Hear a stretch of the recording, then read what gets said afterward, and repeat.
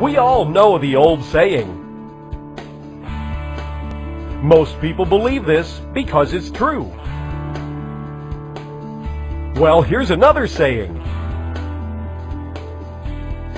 And also true. If you haven't noticed, everything is really different. There's more technology, more distractions, more discounts, much harder to have a conversation. Your clients have distractions also. A radio product that hasn't gotten better and more useful and positioned to solve specific high-value business problems probably has had the oxygen pulled out of the conversation. So introduce yourself differently.